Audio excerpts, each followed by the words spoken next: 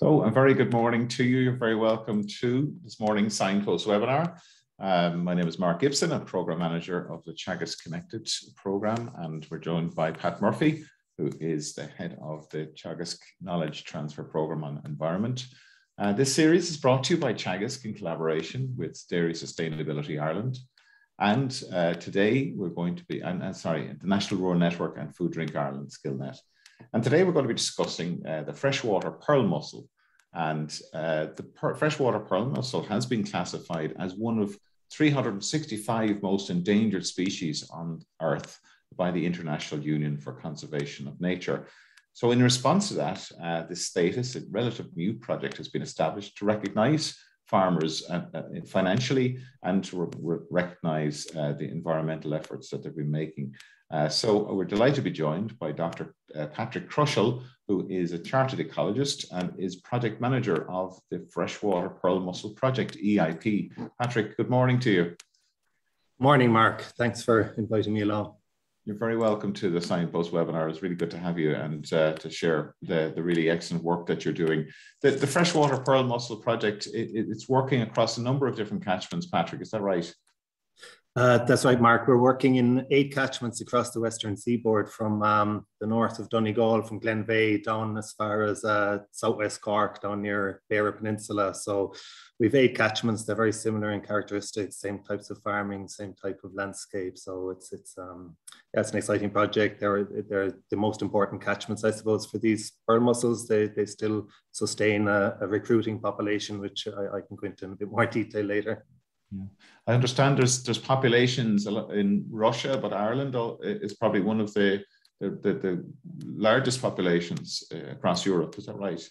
Yeah, here in Scandinavia, probably Ireland has uh, one of the strongest in Western Europe. Uh, they've gone extinct from large areas of Western Europe. In Ireland and within Ireland itself, I suppose the Western seaboard, it's those catchments that haven't been haven't suffered as much land use change and pressures over the years that still sustain the conditions necessary for, for this species. So um, that's why we're concentrating on those ones, like some of the eastern catchments in Ireland would still sustain adult mussels, but they're on their way out. There's no juveniles being recruited, so they're really just a, a almost extinct population just waiting to go. Why, why is it so important that we try to protect this species, Patrick? So the, the, species itself, it's a, it's a real key indicator of uh, ecological quality. So if, if there was any issues within the rivers and the surrounding landscape, this would be the first indicator to show that there's a problem or that something something's going wrong. So it, it's a real indicator of ecosystem health.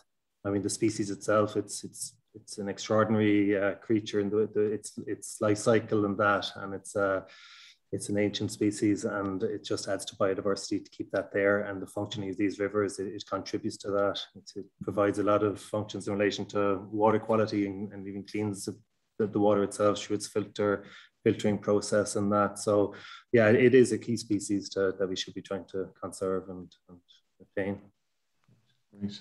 Okay, well, we just ask you to uh, share your presentation with us, Patrick, and uh, I should have said good morning to Patrick, other Patrick down in Wexford. Good morning to you, Patrick.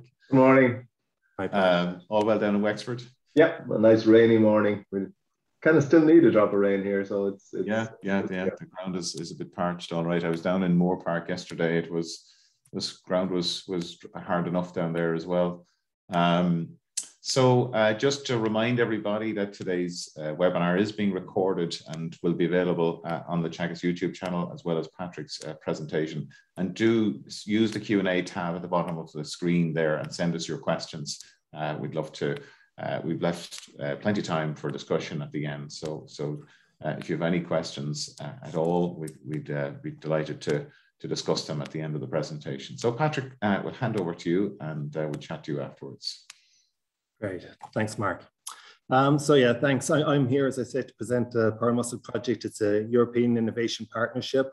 Uh, we've been set up to trial and maybe and design and uh, implement a results-based payment scheme targeting endangered species and while delivering also for wider environmental benefits. So I suppose what sets us apart from some of the other results-based schemes out there is that we're, we're attempting to our target in this is, is water quality and uh, an aquatic species. So that, that's the main challenge and, and what sets us apart from some of the other results-based programs out there that are mainly focusing on terrestrial habitats and species.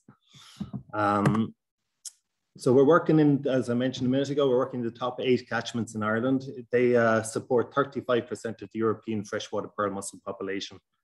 Uh, the funding for the program is through the from the Department of Agriculture Food and Marine, and it's uh, under Rural Development Program 2014 to 2020. So we're a European Innovation Partnership. We're uh, one of the larger EIPs in the country with a total budget of 10 million. Uh, it's a five-year project. Um, the whole idea is that the results-based approach we're, we're locally adapting the the scheme to the areas we're working in, the landscape and to the types of farming and stuff in these catchments. Uh, the key stakeholders, obviously the farmers themselves we're engaged with, our ecologists, our own team. We've got a, a team of agri and environment and ecological experts on board, and uh, we work out of South Kerry and, and uh, Mayo. Uh, we also work very closely with a team of farm advisors around the country, independent advisors that uh, work on the program with us and for us and for the farmers. And uh, we're also engaging a lot with the managing authorities such as National Parks and Wildlife and um, the department and uh, LawPro and, and, other agencies. I suppose with the main idea of setting up this program in the first place, or the requirement for it, was in response to the environmental trends. I mean, freshwater pearl mussel itself, it's critically endangered. As um, Mark mentioned, it's one of 365 most endangered species on Earth. Uh, and 80% of the national population, so of our population, 80% of it occurs in eight, eight populations. So and that's 35% of the EU population. Uh, its overall status and trend, even despite uh, us having such a big population, is still declining and in bad conservation status. So it's critical that something be done to try and uh, try and address it. And agriculture is just one of the pressures affecting the species. I mean, there's other pressures within these catchments, including forestry and, uh, and other um, land uses. So uh, general water quality, I mean, there's tenfold decline in pristine water since the late 80s. So it's, it's critical that uh, something be done to try and address that, that issue and improve things. Similarly, habitats in the western upland areas, which is where we're working, they're also in very bad status and declining. So that's all of your peatlands, your grasslands, your upland habitats. So again, these are the, these are the different trends that we're trying to reverse or trying to address to some degree through our program. Um, and then climate change, of course, it's compounding many of the above issues. So just give you a bit of background on the freshwater pearl mussel itself, it's an extremely complex life cycle. It uh, occurs in, in, in river environments. Um, it lives up to 140 years each individual. So the adults, they live in the bed of the river. They just sit there. They don't attach to anything, but sit in the bed of the river. If you're not familiar with them, they look no different to stones and you're looking in from a bridge or anything. But uh, they'd be filtering water away there all day long. Um, but uh, uh and the male and the female, they're two separate, and they reproduce uh, by um, the, the male releases sperm and the female takes it in and broods the, the broods um, the larvae and they get released as larvae into the water column uh, at a certain time of the year, uh, July every year, and those larvae then are just released into a water column where they need to attach to the gills of a, a, salmon or a trout in a short enough period. And they attach to the gills of the salmon or the trout where there's enough oxygen there for them to survive. They're just like very miniature little mussels and they're snapping like that. So they snap onto the gills of the salmon or trout and they live there for about a year before they eventually drop off. And when they drop off, they need to land in extremely clean sediment and uh, with enough oxygen again in the bed of the river for them to be able to survive. And this is the real critical stage. It's the juvenile stage where these juvenile mussels fall off the salmon and trout and they need to live in the sediment of the river. So they bury down a number of centimeters into the bed of the river and they live there for approximately five years. And it's during this period that the mussel is under most threat of um, declines in water quality or sediment. So if there's if there's poor water quality or there's um, sediment coming into the river, it tends to clog up the sediment here and could lead to the death of the mussels at this stage. So it's for that five-year period, it's critical that the health of the river is in good condition for them to survive, for them to survive and grow into the adults. And again, just live out the next 100 years uh, on the bed of the river as adult mussels. Um, as I said, it's eight catchments, 80% of the population. The main pressures, I suppose, arising from agriculture and that, or the main pressures in general are flow, sediment, and nutrients. And flow is a really critical one here. It's um, in, in very drained catchments, you get very low flows in summer because the, the water is draining, draining off so quickly. And then very high flows in winter can lead to uh, sediment um, or erosion and that of the bed of the river and washing out the mussels. So the flow is a critical thing, and that exacerbates the effect of two other pressures, which are sediment and nutrients. Obviously, if the if the flow is heavy, you get higher higher sediment inputs into the river. Uh, if their flows are very low, again, you get nutrients are much more concentrated in the river during summertime.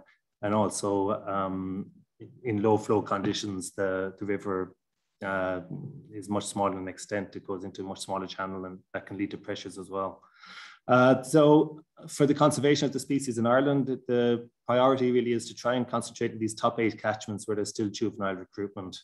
There's very few juveniles occurring in other catchments in Ireland, but in these catchments, it's known that they're still recruiting, maybe not to good enough uh, degree to be able to sustain the populations, but they are there. So we feel the best efforts are to concentrate in these catchments and try and get improve things to make viable populations continue. Um, so these are the eight catchments, as I say, Glaskeelan and Donegal, down to Bundorragha and Mayo, Dawros and Owenriff and Connemara, and then down to the Kerry catchments where Caragh, Currane and Blackwater in South Kerry, and then Ownagappul and West Cork. So they're all very similar catchments. They're very peat dominated soils, um, extensive agriculture generally, mixed livestock, uh, sheep and cattle, and um, yeah, extremely heavy rainfall. I mean, you're getting rainfall levels up above two, 2,000 mils a year 3,000 in some instances. So they are the wet, some of the wettest parts of the country where, where we're working. Um, just in relation to the buy-in from farmers and the catchment coverage of the program. So we've, at the moment, we have 472 participating farmers. So that's over 80% of all of the herd numbers in the catchments. Uh, we incorporate both commonage and private land. Uh, the total participating land is equivalent to 35,000 hectares. So that's the amount of land that's it that's participating in the program. Uh, we started off in year one with about 340 farmers. We've built up to 472. Um, so I suppose that the whole focus of this is that it's a results-based approach, that the payments that we're issuing each year are linked to the quality of the biodiversity. So the higher the nature value or the higher the biodiversity, the higher the payment level. So that's there obviously as an incentive and a reward to farmers who are producing good environmental outcomes or an incentive to, to produce better outcomes into the future.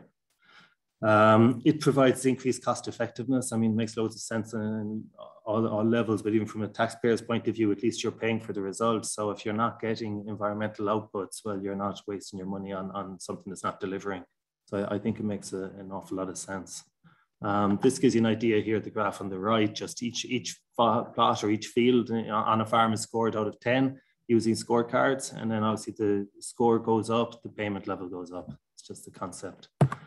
Uh, it's all about creating an additional market. So, I mean, these are farmers obviously still producing food and they, they get, uh, they get uh, financial uh, reward for that but we're offering an alternative market. And in addition to their, their food, we're saying, well, let's produce environmental services and, and create a, a value on that. Uh, so what we're paying for, I suppose, is biodiversity, water, and, and carbon, um, and that, that's what we're, we're addressing. While our focus is on water quality, we're also feel we're delivering for these things, um, and that's based on the scorecards and the design of the program. That it, the results were show result indicators we chosen reflect improvements in, in these uh, environmental benefits. Um, I suppose the challenge posed by the aquatic species, which is really the um, the, the challenges we had when we were designing the program is that you have to choose a, an appropriate result indicator. And obviously water quality is a very difficult thing to, to measure in the first instance, but also to relate back to land use in a local area. So, and as well, of course, the farmers aren't necessarily farming in the rivers, they're farming the land. So it has to be within the farmer's control. And the result indicators have to obviously reflect uh, the quality of the, of the target um, but also um, they they need to be within farmers' control. So we're assessing the. It's mostly terrestrial assessments, but it's obviously indicative of what's happening in the freshwater environment. Um, hydrological connectivity is a big challenge. we need to adapt a whole farm approach. We can't just just focus on particular areas of the farm because that whole farm is connected to the watercourses in some way or another, from the farmyard through to your most improved pastures down to the more extensive areas of the farm. So that that's really what sets us apart from some of the other projects. Uh, we also need to uh, a catchment-based approach. So it's not just designated lands. Obviously, any area of land within a river catchment contributes to water quality. So we have to consider everything within the catchment, not just the, the river itself and the bordering lands. Um, and I suppose the, the main thing is that we, we need to incentivize farmers to address problems and to improve low scoring lands and pressure points. So we're not just rewarding the best parts of the, the, the farm, we're actually looking at uh, improve the worst parts of it because that's giving rise to what the, what the issue is in the river. Uh, so these are the result indicators we, we settled on. It's uh, farm habitat quality. So we're looking at our grasslands, woodlands, and peatlands. We've scorecard for each of the three of those. Each year, these are outgoing advisors working on our behalf, go out or working on the farmer's behalf, go out and assess these habitats on the farm, score them from zero to 10 the weighting on the scorecard is very much towards good um, hydrological status, a good water water retention status, and condition of the wetter habitats. Um, floodplain quality, we also assess that each year, so it's it's related to the scores on the on the plots and also the length of floodplain on an individual farm. Then we also look at the drainage and water courses. Obviously, we don't we don't ignore what's happening in the water courses. We need to see where there's pressures and threats on the water course, and we address those through a whole farm assessment. So we're looking at uh, where there's access by animals or evidence of erosion due to due to that, or where there's vehicle access even, or whether there's an absence of a buffer zone in improved lands would imply a, a risk of water quality. So we assess the risk, and there's a correction factor on the farmer's payment based on that risk.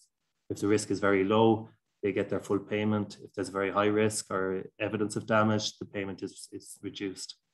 Uh, and we also look at the farmyard and nutrient management to address those things.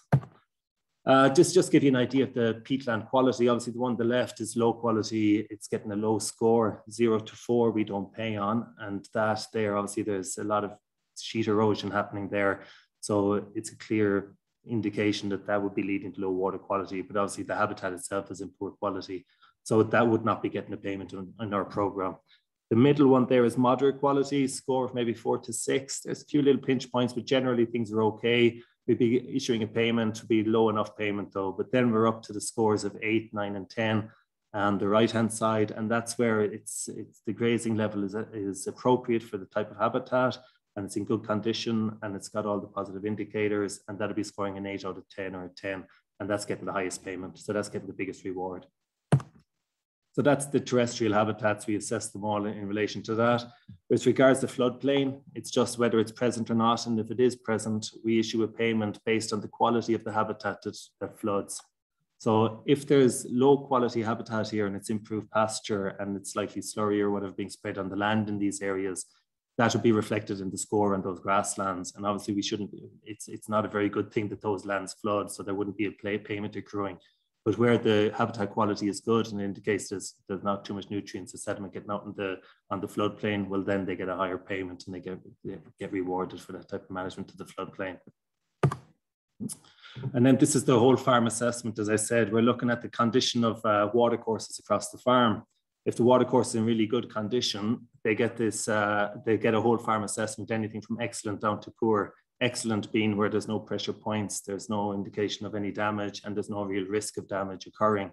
And that in that instance, their habitat payment, which is calculated initially, is given a bonus of 0.2. So we multiply the payment for the farmer by 1.2. So instead of 1,000 euro, they get 1,200 euro.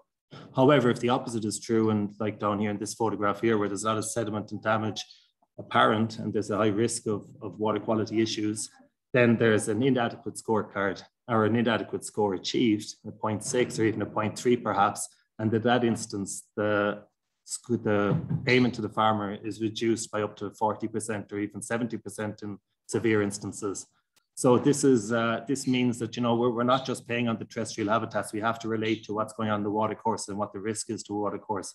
So um, that that's how the correction works. That uh, it's very much targeted towards the the aquatic species. That if someone does have very high terrestrial habitats, well, we can't be issuing a very high payment if there's a risk to water quality.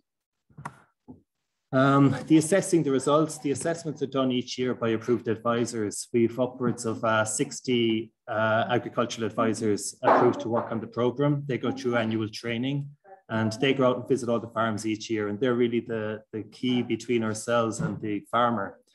Um, and they're basically scoring the fields each year. They do the habitat quality assessment, as I mentioned, uh, at the field plot level. They record it using an app in the field on their mobile phone. Um, and it's a score of zero to 10. So it determines the score. So it, it's all through an app that we developed through in the program. And this is submitted to us via that and appears in our mapping system where we get access to it pretty much straight away. Uh, they do the floodplain assessment. As I mentioned, it's to have a, a presence or absence. They've already scored the fields within the floodplain. And then they do the whole farm assessment, which is another scorecard, which they uh, look at the risk of nutrients or sediment entering the watercourse and record that on, on that assessment. So I suppose it's just to reiterate the importance of advisors and the workload that they have. This is just a dashboard that shows what's been submitted this year by the advisors and I mean, it, it's upwards of two and a half thousand scorecards or fields have been scored by them this year. So it's a huge amount of work. And without without their involvement and their hard work, I, I don't think the program would ever have got as far as we've got.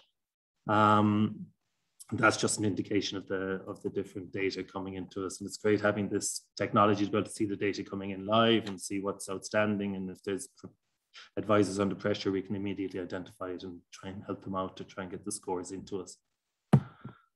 Um, just to go through the payment, the overall payment scheme. So I, have mentioned all this before, but there's a results-based payment, which is based on the habitat quality and the floodplain payment. And then that's multiplied by the outcome of the watercourse assessment. So if it's poor, you only get 0.3 of this. If it's excellent, you get 1.2 times that, and it gets your final results-based payment in the year. Now, as well as that, we do have a supporting actions payment, which is available to farmers should they choose to avail of it. And this is where farmers can undertake actions to improve their score. So a, a, low scoring farm in year one, obviously they're not getting great financial reward, but there's potential there for them to draw from another budget. But that money is only available to them if they're doing actions that are likely to increase to uh, lead to an increase in score. So it's very much targeted on appropriate measures in the right place. Um, so that's the supporting actions. Um, just to give you an illustration of how it might work for an individual farm, this, this farm here has, let's just say five plots that are scored by the advisor. You can see there the highest scoring plot is down here, maybe species rich grassland scoring at 10, goes down to a score of zero on this plot here, which is obviously very improved and a lot of nutrients going onto that field and it's of low biodiversity value. So it, it's not getting a score, it's not getting a payment. And then you've got some moderate scores, a six, a six and an eight. You can see here there's patches of bare peat on the, on the hillside, on the peatland plot, so it's not achieving a very high score. So based on these scores, this farm, which is 50 hectares in extent, would get a habitat quality payment of 5,000 euro. But um, I'm sure you can all see the potential impacts here of water on water quality or the risk identified and the impacts identified.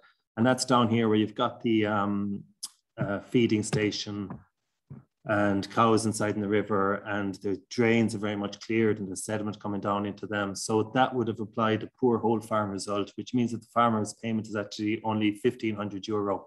Despite him having all this lovely biodiversity, the payment is actually quite low, but that's because there's identified risks and damage to watercourses. So, I mean, the, that's, in, that's in one year, but the key to it is that we identify those and the advisor then issues advice to the farmer to how the score could be improved and how we could address these pressures on the farms.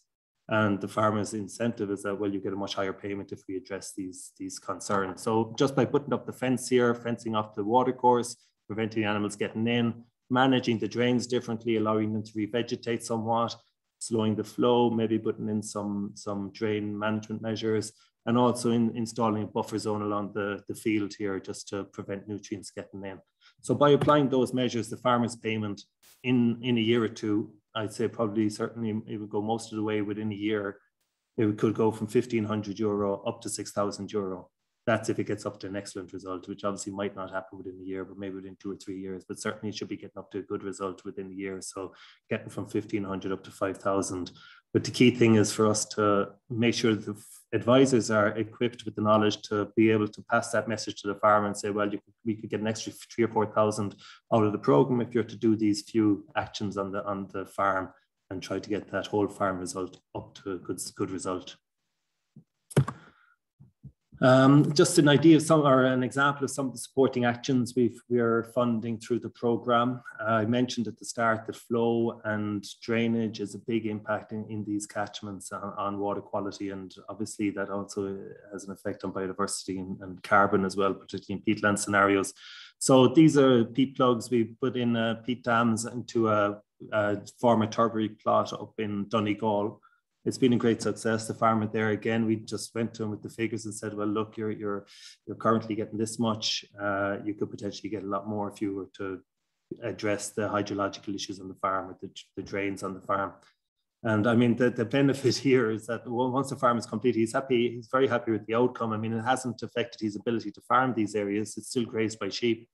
And you know the, the benefit that he's seen himself from a farming perspective is that these little peat dams are actually now functioning as crossing points for the sheep to be able to get from one area to another, which weren't there previously. So it's just a, a by the way. Um, there's timber weirs. It's just another measure where we've uh, looked at farmers in Mayo. This is um, Colm Gavin, who's our Farming for Nature ambassador this year, has been put forward. So if you're, you're looking to vote for anyone, I'd, I'd, recommend Colm. But there's Colm putting in some timber weirs along a, a flush coming down off, uh, off an area of upland. And the pressure here was just in times of high flow, you do get a build of sediment and high flow rates coming down into the river via this, this flush that's been cleared out and uh, drained. So following putting this in, it's slowed the flow, slowed the flow. You guess this is it. Uh, within a year, it's revegetated. The slow is much more reduced. The water is seeping into the river, which is what really we want to do, rather than having flushes of, of water intensity into the river. So that's uh, another example of these measures that we co-fund to help the farmer improve their score, and obviously, from our point of view, gets a better environmental outcome. Um, another one here is just a crossing point. Again, we give the farmer the freedom to do it the way they want to do, as long as it achieves the result that we're looking for. We're happy enough for them to take their initiative. And obviously, we have to approve it and make sure that they have an understanding of what, what they can and can't do. But this is where they've put in flags across the crossing point here next to the main river. And it's turned the pressure like this into this within a year again. So it, it's just an example of some of the things we're co funding. This is uh, an in-ditch wetland. So this, this uh, field here on the right-hand side is draining down slope and is being picked up by this this uh, drainage ditch which runs along the bottom of the field. Uh, we identified this as a potential pressure point because the nutrients coming off the field, coming into that and coming straight into the river, which runs along where the trees are there. So the idea of this is that you widen a small section of the drain, you put in a couple of uh, dams. Now the dams aren't actually up to the level of the field, so it won't affect the, the quality of the grass in the field as such, but it just allows water to, to slow before it gets into the main river and you get vegetation establishing here within a year or two, we'd hope. And that again filters the water, takes out some of the nutrients and certainly settles out the sediment which stays inside in these little wetland um, chambers. Uh, needs very little maintenance throughout. Maybe eventually we'd have to take out the, some of the silt in the bottom and they can spread it on the land or whatever, but they, they take very little maintenance year to year. We've, we've yet to have to do anything on these ones. Uh, stock management is something as simple as this. It's a fence. It's actually a commonage area, so it wasn't that simple to get the fence, but we did help the farmers by going through the whole approval process with the department and on the appropriate assessment side of things with the local authority. Um, and following that, I mean, it, it's just a, pr a, pressure point within a large area of commonage where the sheep were gathering the whole time. And we just felt it needed to recover, needed a year or two rest. The temporary fence we've put in there, but again, we, we can see the recovery happening very, very quickly once that a change in stock management is, is implemented. Um, again, we'd have co-funded the fencing to go up here and we would have got a couple of the shareholders involved who were interested in doing the work, did the work, and obviously all the other shareholders might be up to, I don't know, there 30 or 40 shareholders in this commonage, but they'd all get the benefit of the score going up during the year. So that's kind of how we got everyone's involvement and agreement for the work to proceed. Um, so that's it. I mentioned the advisors. I mean, we've uh, we've it's very much delivered by the by the network of advisors. We're there to facilitate the advisors and the farmers working together. Uh, 61 advisors are trained. We do uh, we support the advisors. We we you know, upskill them. We've annual training every year. We're on the end of the phone if they have any issues and need advice on stuff. Um, so it, it's working quite well. That side of the program and the advisors, as I say, are a key key part to delivering the program. There's no way that we could have considered taking on so many farmers without having this network of advisors trained up and working on the program.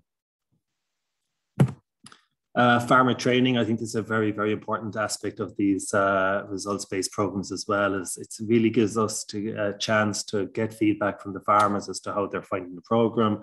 And like we, we'd love the idea that after at the end of this program, the farmer would look at his field and be able to almost score the field themselves and uh, be familiar enough with the scorecards that they'd start thinking, okay, if I do this or that to that field, I get a higher score. So it's very much about that continuous engagement and learning between us and the farmers.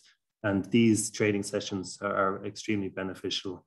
Um, I mean, there's just an interesting there. We did some feedback with them on Zoom calls during the year, and I mean, 93% of them feel that their knowledge and value of appreciation of nature and the environment has increased since they came into the program. So, I mean, that, that's, that's uh, encouraging from our point of view.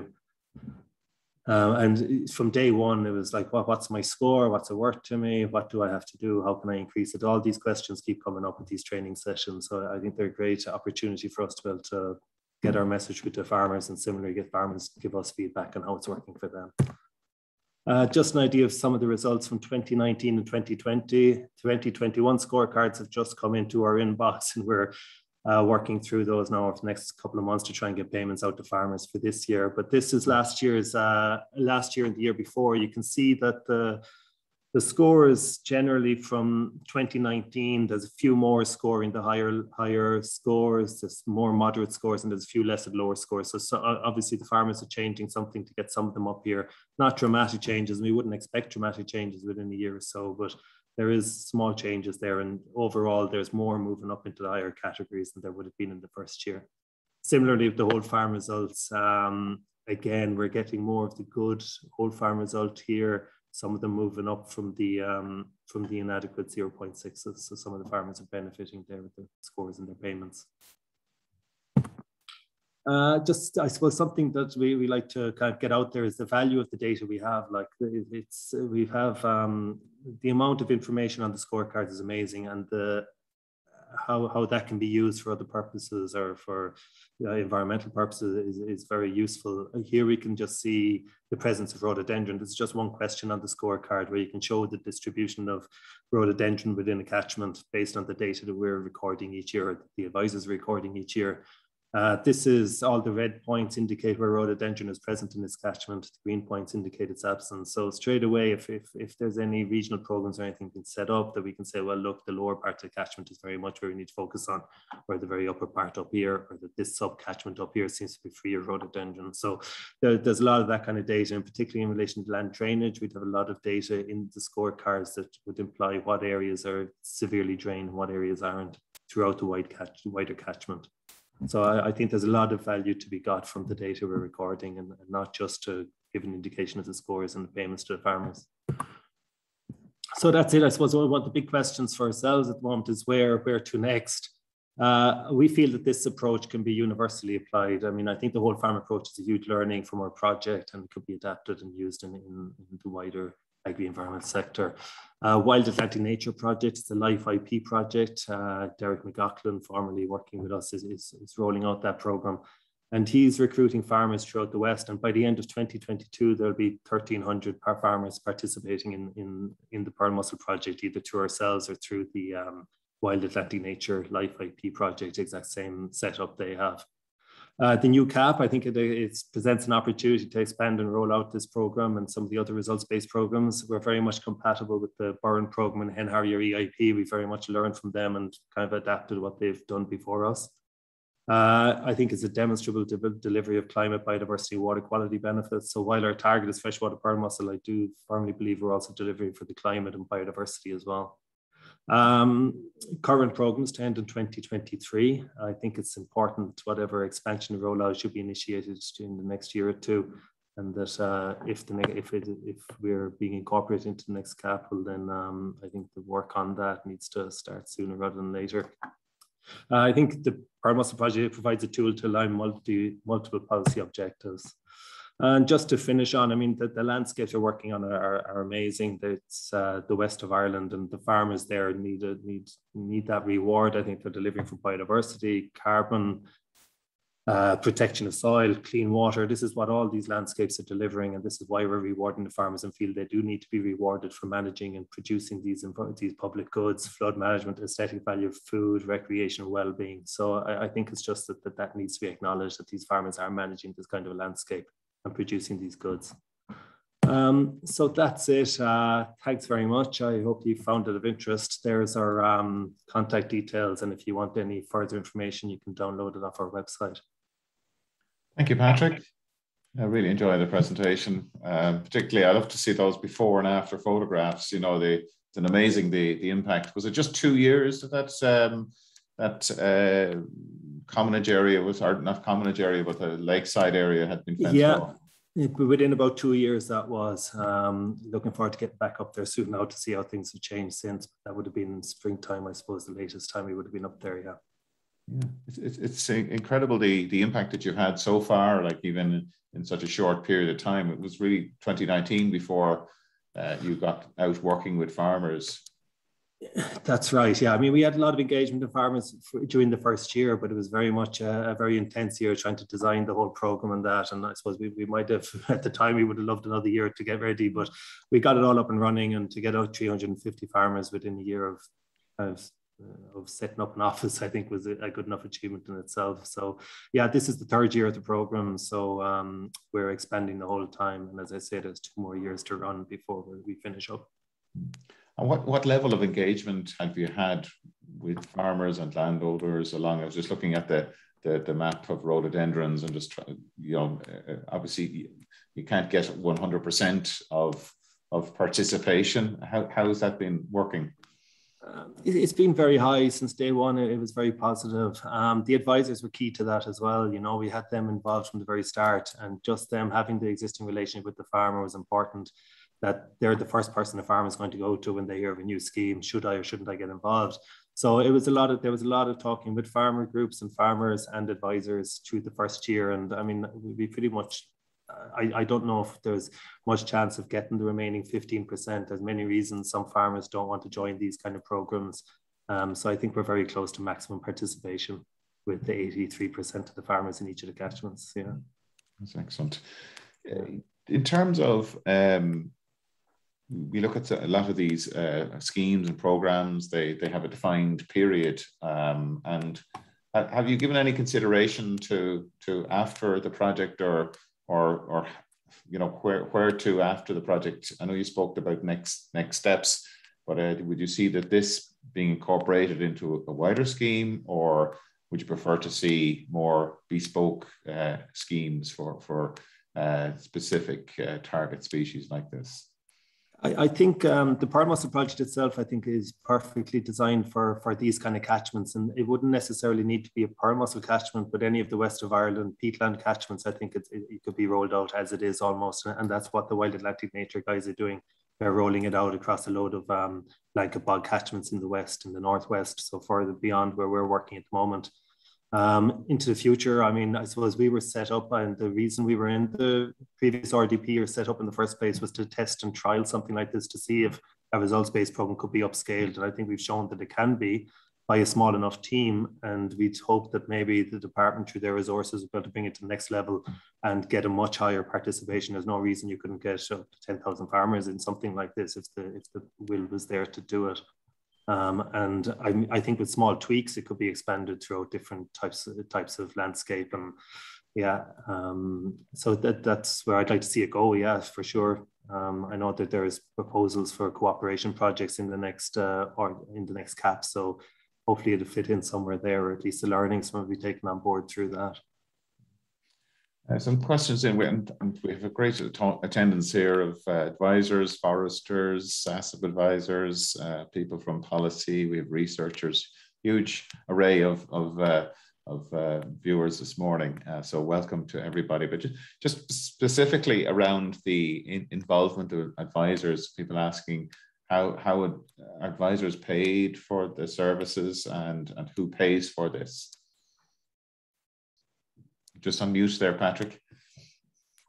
myself. Sorry. Um, yeah, the advisors are are paid by the farmers, so the uh, it comes out of the farmers' payment.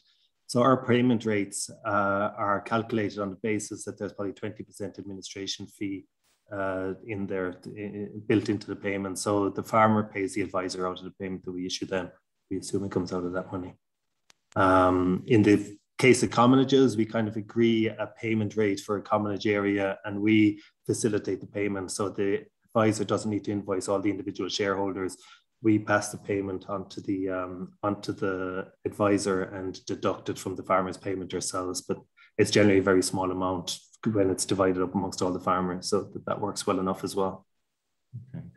And going back to my my my other question there, the, the question there's a question here about how long will the payments to farmers continue, and is there an expectation that the improvements achieved will be maintained if payments finish?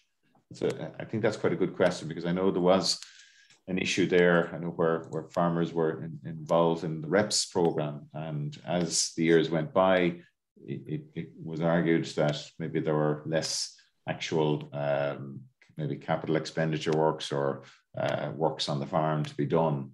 Um, where, where, where do you see that headed? Yeah, I think that's the great thing about the results-based programs is that there's a sustainable payment there for the farmer, and obviously it's subject to the results-based scheme continuing. But it's not based on having to do capital works every year, which surely at some stage you have enough fencing done that you don't need to do any more fencing. So mm. I think there's a, a sustainable payment payment means there by issuing the results-based payment. And um, yeah, I, I, I don't know. I mean, we, would obviously hope that something like this will continue. And the, the mutings we're getting from the department and even from the EU side of things is that this is the way forward and the results-based payments are here to stay. But it's the first thing the farmers asked us five years ago when they came into it. Well, how do we know what's going to happen at the end of it? And you know, farmers are slow to make that big jump to do capital works without knowing that it'll be a long-term benefit, as any of us would be. It's an investment on their point, on their part, and particularly when we're asking them to look at the drainage of their peatlands, and they're saying, "Oh, should the next crowd coming through might ask us to do something else?" So you know that that's a real difficulty and a challenge. So it'd be great to have some certainty there for the farmer and for everyone to know that this is the way it's going to be going and the way it's going to be continuing. But I think with the climate action plan and everything, it, it has to go this way, and I, I, think it probably is going to be going to be going. But again, we we can't promise it. No, I agree. I think that the longevity needs to we need to try and uh, have that have that certainty there for for participants um, as, as, for as long as possible. Had some uh, a lot yeah. of questions coming in actually. Yeah, yeah, there are, uh, and then there's a good few around. Uh, I suppose two areas. Uh, what are the criteria uh, for success from the point of view of conservation and increase in the breeding population of the, the, the pearl mussel? And I suppose the related question coming in from a lot of people is have you seen any uh, early indications of, of improvement in the pearl mussel population or in, in the conditions associated with success of, of the, the potential to, to uh, uh, breed? Um, yeah, great question. I suppose that the difficulty with something like pearl mussel, when you've got such a long-lived species, it might be a long time before we actually see the results of this, and it's bound to be a lag time before it, it, kicks in. And then the other difficulty, of course, is there's other land use pressures within the catchments that need to be addressed at the same time. But uh, there, the actual monitoring of pearl mussel populations is done by National Parks and Wildlife Service, and that's on a rolling basis every number of years. Now, I think they've had preliminary good results down in um, in the Kerry catchments after the project that preceded us, Kerry Life. So those results are kind of coming in now, and it shows that things have improved somewhat.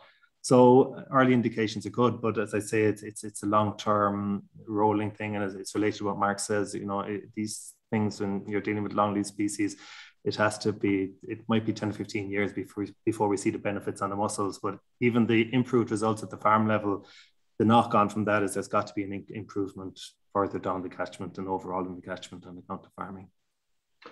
A, a couple of questions again around. Uh, okay, the, the pearl mussel is an indicator species of pristine water quality, but is there any, uh, or can we uh, transplant the, the uh, transfer to other locations if the uh, baseline uh, uh, water quality improved? In other words, areas that may have had populations in the past, is there is there any prospect of, of doing that if we could get the water quality right to take them? Um, yeah, interesting question. I, I, think there's a lot of relict populations in the country that still sustain the adults. So when the adult mussels are there, they can withstand much more pressure than the juvenile. So I suppose they're non-reproducing populations. So I suppose they'd be the next ones you'd kind of focus in on.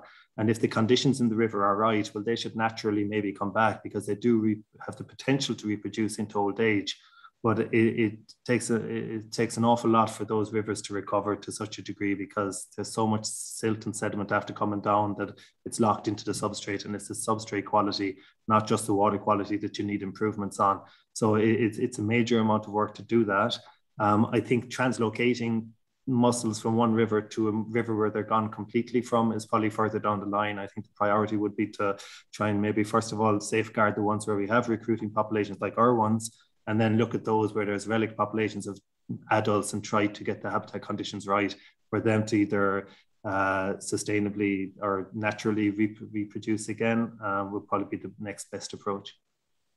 Okay, question there. Uh, you mentioned the, the Life program, uh, and I suppose it, you, you talked about a, degree of continuation. What were the learnings there and the key learnings that have uh, progressed from one uh, program to another, and, and what are the I suppose, the particularly new elements in, in, in the Pearl Mussel project?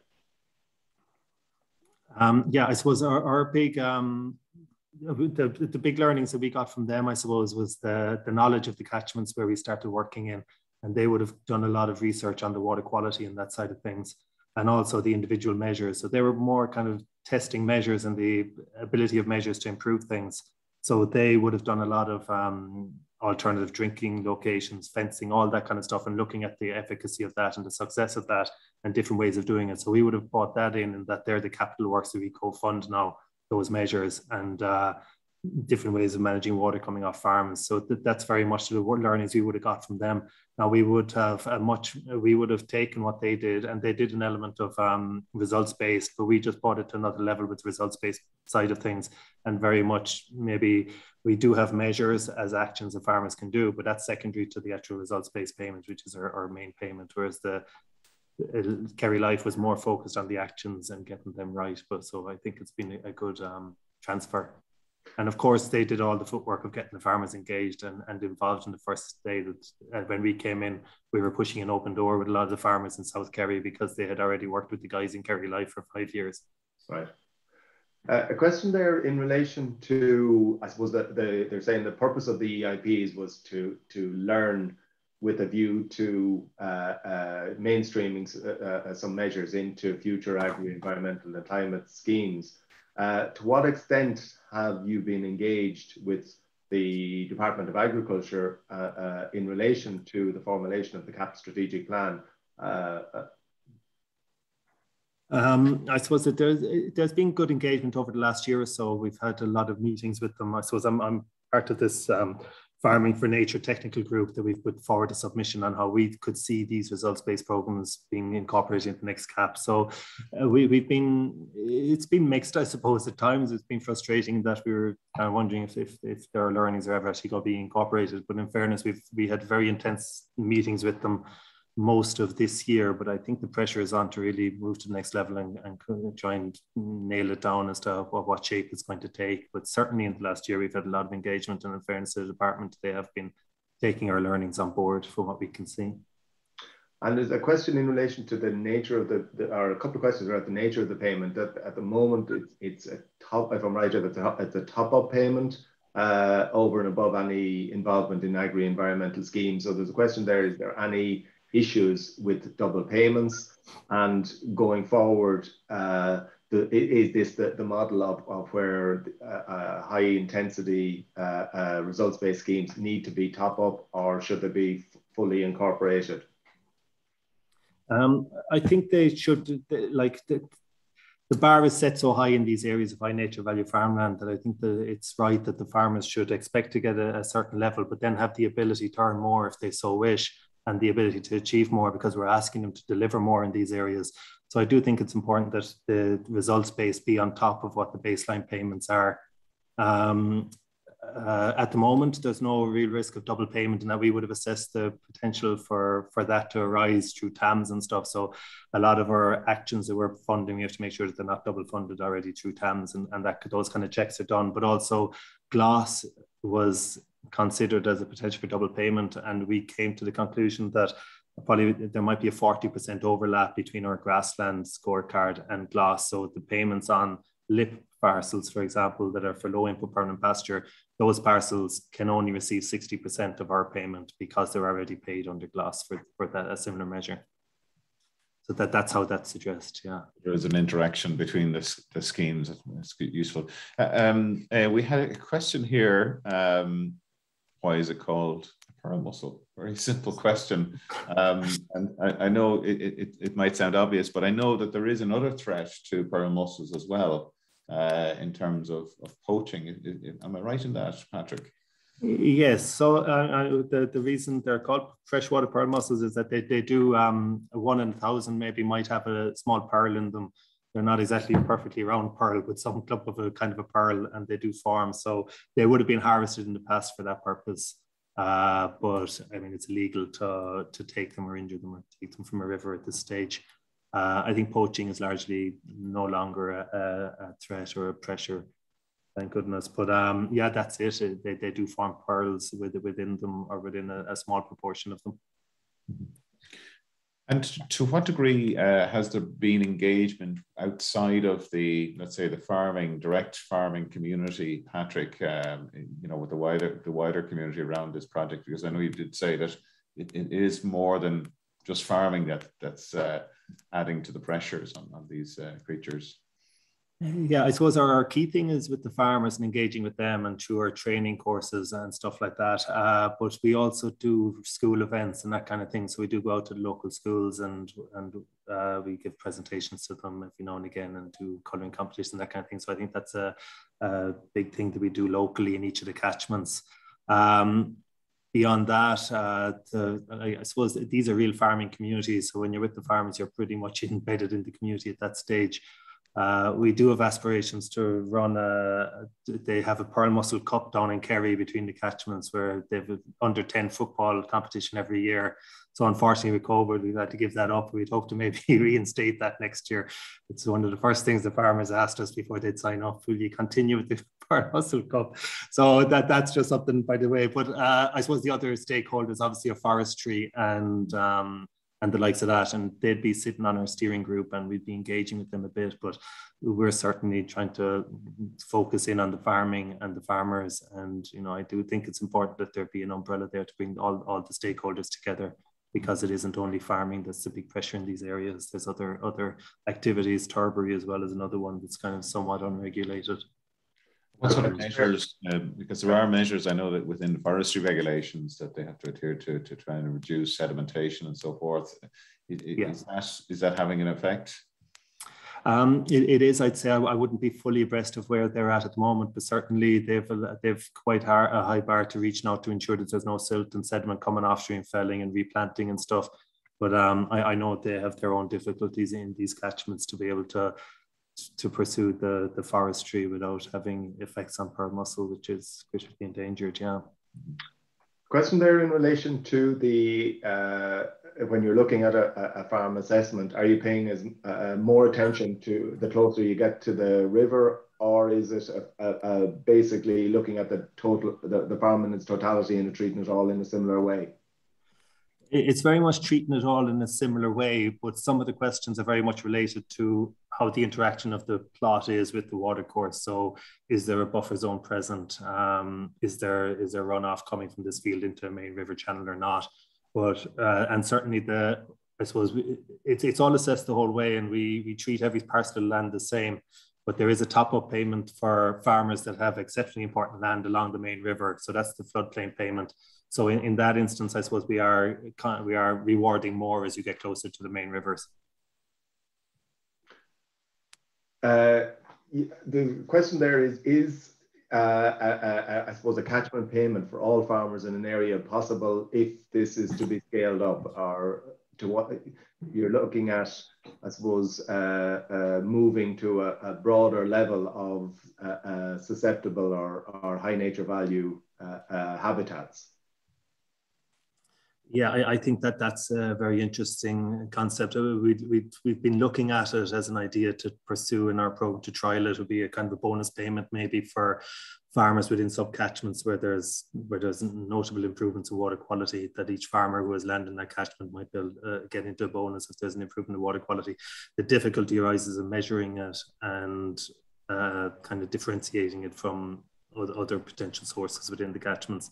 But it's something we'd aspire to, and I think it'd be very good if there was some kind of a, a landscape type payment or a, a sub-catchment based payment if we could relate it to achievements and to get collective kind of buy-in from the farmers in the catchments. Uh, an early question that we had was what were the criteria used in picking the, the age uh, catchments? Uh, it's basically the, the top eight catchments. So the National Parks and Wildlife Service would have been monitoring the pearl mussel populations throughout the country, and these catchments we regarded as the, the most important and the ones with best juvenile recruitment.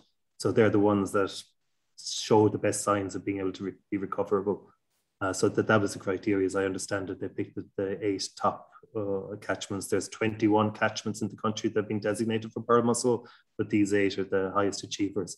I imagine if one was to upscale this to other catchments, the next ones to be included would be those in the 21 um, catchments that are designated. Okay. Uh, a question there in relation to who is funding the, the, the, the, payments and to what extent is there a possibility of getting private sector involvement in, in uh, projects like this? Um, yeah, I, uh, at the moment it's Department of Ag uh, through the European Innovation Partnership, so it's the RDP uh, is is funding it in its entirety. Um, I think the potential involvement of private money is, interesting um, as to how that would work. At the model of of making it work, I, am not I'm not sure how it could. Um, I mean, a, a nice idea would be to have to look at the branding side of things. That if we feel that these that if if the consumer is looking at products coming from these areas where they know that the farmers are delivering something like this, that maybe the results based could be reflected on the branding side of things. So the higher the result, the higher the price the farmer gets for their produce might be a way of getting additional funding into it. There's a question there in relation to the opportunity for farmers to feed back their knowledge and experience through through the process. Does does that happen, uh, and has it led to any any improvements in the in in, in the process? Um, well, there is definitely feedback coming from them. We, we do have meetings at the end of the year, and our catchment officers are out meeting farmers nearly every day, and that there is a lot of feedback. And we did we have uh, addressed any potential issues of concern to them at, at different stages uh, we weren't willing to get rid of our whole farm assessment. Myself and them would have wanted because that would have just completely turned the whole objective of what we're doing on its head. But no, certainly there, has been a lot of feedback from them, and we've had we've had very good feedback, and we do incorporate it into our own learnings. We might finish off with a heresy of a question. Can you eat the mussel? Not if you want to survive, I'd say. Uh, I doubt they'd be very tasty, so I wouldn't try them. No not, the, not the objective of this project, Pat. no, I, I, don't think they do you any good if they're sitting in the river for 100 years. As here, they're accumulating some nasty stuff. Okay, look, we better leave it there. We're just up on half past 10. Uh, Patrick, thank you so much for coming along today and, and sharing with us all, all of the excellent work that's going on in the project. And uh, really, congratulations to you and all of the farmers that are involved. I think it's uh, it's a superb example of a results-based scheme, and uh, I think lots of learnings coming from it for further future schemes and, and EIPs as well. So if people want to find out more about the project, pearlmusselproject.ie, is that correct, Patrick? Um, That's right, yeah. Um, so it's, it's, a good, really good website, very informative about the life cycle and the, the uh, yeah, we have a lot of video resources and that up there if people are interested in that. From from last year, we would have put a lot of our, our stuff online and even the demonstration of the apps and the technology is up there because I think that's something that can be really brought on as well to another level after these projects. Great, great. Well, uh, thank you again. And uh, just to let people know that we're, next week we'll be joined by Ian Short, uh, Forestry Research Officer with Teagasc, along with Jim McAdam, Queen's University, and Eugene Curran from uh, the Department of Agriculture We'll all be speaking about agroforestry and the multiple benefits for Irish agriculture. So look forward to, to being joined by uh, Ian and his colleagues. Um, just a final word to say thanks to our production team, Andy Boland, um, Pat Murphy, and Yvonne Maher. And uh, we look forward to seeing you again next week at 9.30. And a reminder, if you do want to listen in, or if you know of anybody who's maybe doesn't have time to listen in uh, and view the webinar, you can tune in to the Signpost uh, podcast and uh, listen to it in, in, the car or the tractor or wherever you might be. It's a, it's a good way to catch up on the series. So with that, we say thanks very much, and we'll see you again next uh, next Friday at 9.30. Thanks again. Thank you.